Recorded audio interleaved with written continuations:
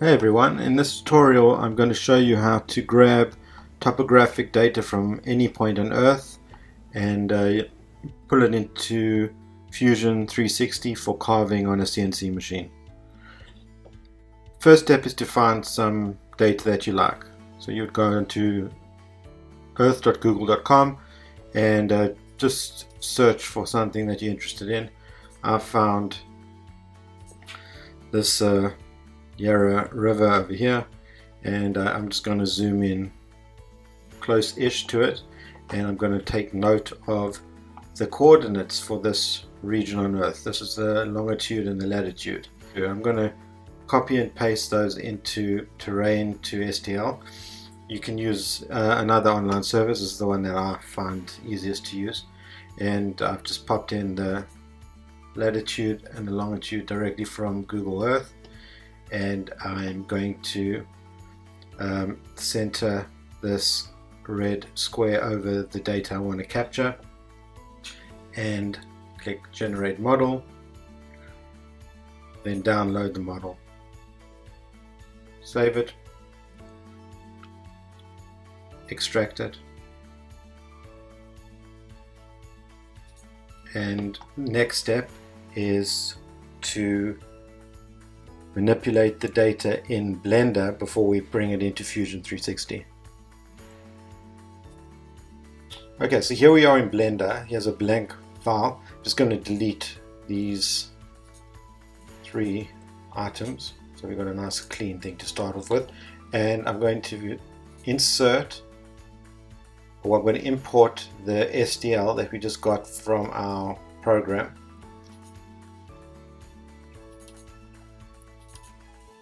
And this is it over here.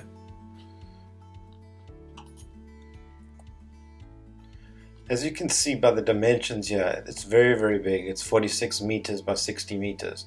So I'm just going to scale this down based on the material I'm going to be carving. So if you want to carve something very big you will scale it to that dimension or something very small.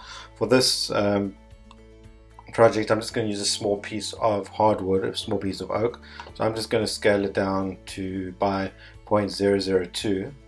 I'm going to select the object, press S for scale, type 0.002, press enter, and um, there it is.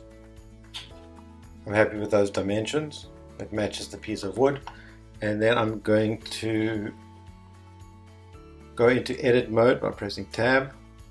As you can see, the object is made up of thousands of triangles. Now Fusion 360 doesn't like a lot of triangles. If you go over 10,000 triangles, then uh, Fusion will crash. Generally, it doesn't like it. So the what we're going to be, do, be doing is converting these triangles into quads, which is something Fusion likes. Um, before we do that, I'm going to just get rid of these sides quickly. I might fast forward through that. I'm going to make sure that I'm selecting faces. I'm just going to highlight the sides and delete them.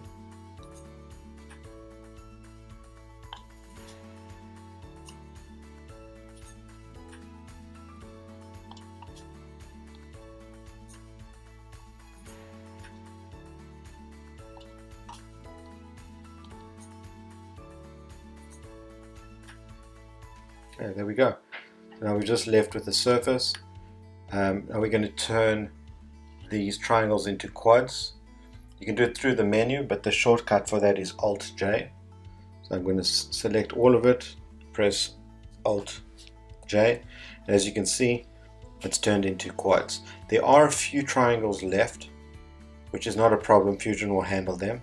They're very, very few and far between. You could go and manually delete the triangles and turn them into quads, but it doesn't really make a difference.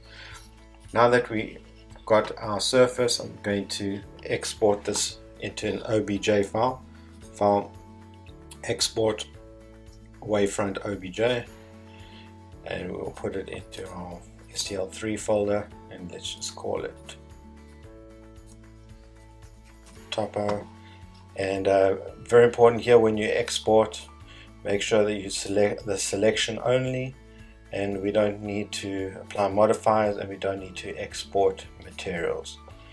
So we just want those few boxes selected, export OBJ, and now we move into Fusion.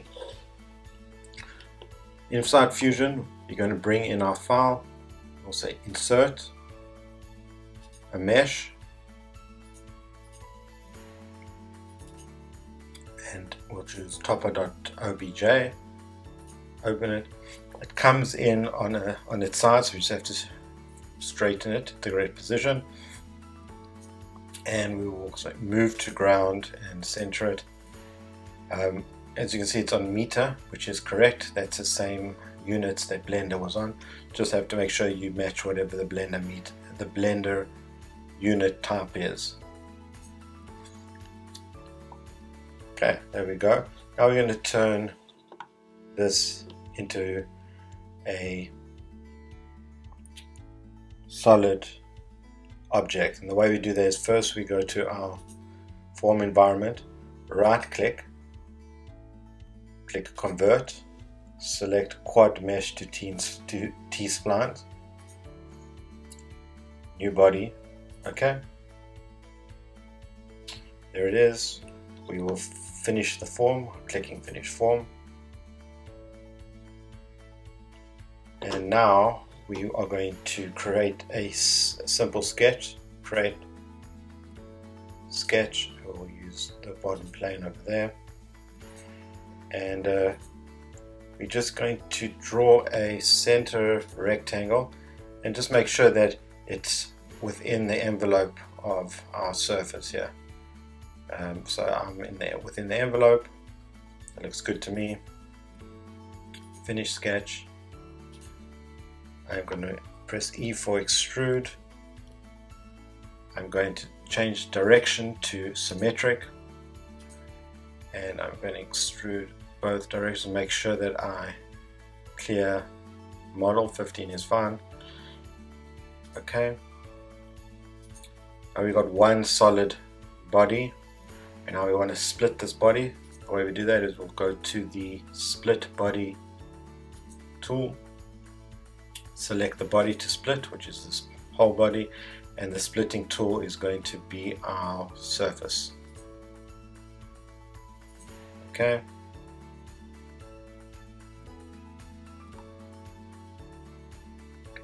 And now we have got a perfectly machinable solid surface that can be machined in the CAM environment and output as G-code to the milling machine.